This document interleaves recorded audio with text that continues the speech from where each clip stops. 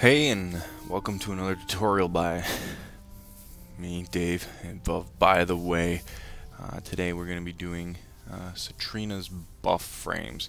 Um, now, I know with the new changes to the game, uh, as you can see, some of the buffs get put into this little uh, drop-down menu style thing.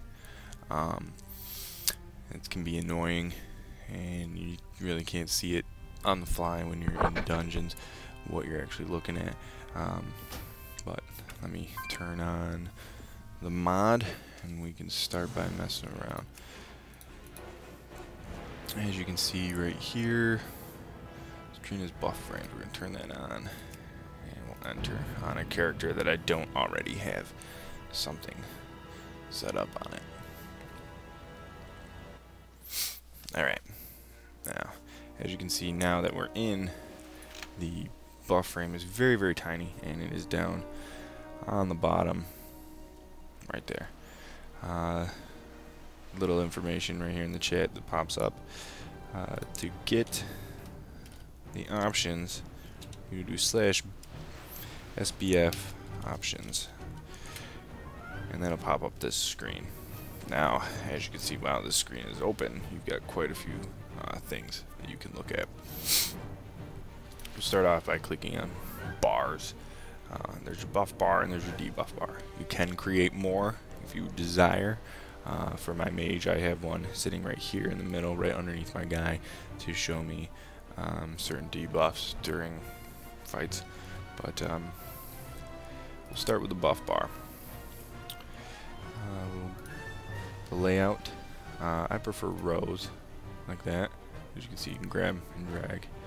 Um, and I like to have it the opposite. They are numbered, and that is the way they will grow. They will grow out. Now, you can place these wherever, wherever you like.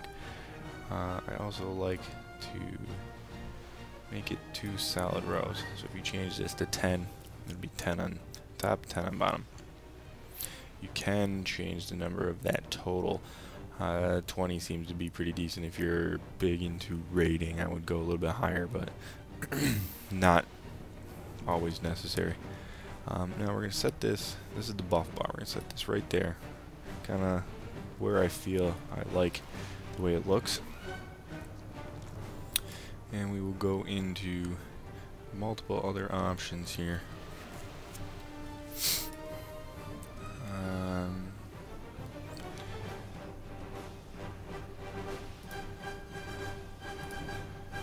Change the icon size here. Uh, multiple options for the actual bars. We'll change the icon. Kind of a little small there. We'll change it to, uh, we'll go 30. Hit apply. Makes them a little bigger. Um, and you can change the actual position of the icons uh, based on where the anchor point is. But um, just leaving them centered is fine. Uh, the timers are the actual numbers underneath. I would switch that to Blizzard style too. Uh, having minutes and seconds is kind of stupid. This will make it so it's the default. Font size of the timers, as you can see, very very tiny to very very large, depending on your preference. And then you can also put the timer anywhere in position to the buff. Just right below it's usually where I like to have that. Justify the right side or the middle, wherever. You can change the font. Whatever your preference is. Now we'll switch to the debuff bar and we'll set up the same design here. Go rows, split it right in half, 8 and 8, switch it so that grows the opposite way. Now the debuff bar I like to keep a little bit smaller just so it's out of the way. So I leave it at icon size 20. Timers, switch that again so it's normal.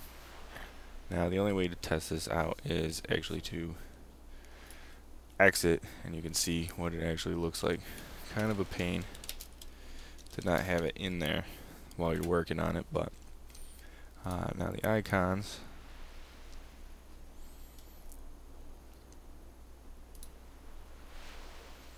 Kind of touching each other. They're kind of close.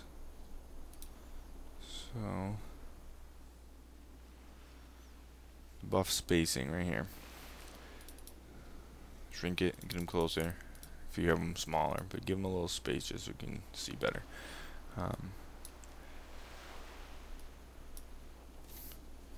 now, to create a new one, new frame, just puts it right here.